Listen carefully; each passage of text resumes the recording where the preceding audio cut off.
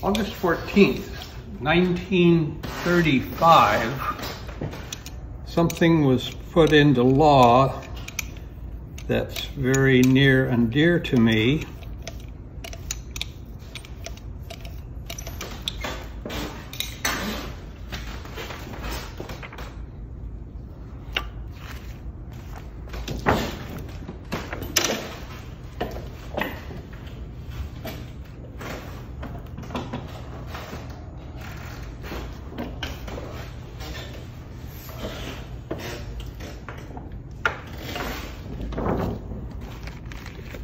And if I've said it once, I've said it hundreds of times. Yay!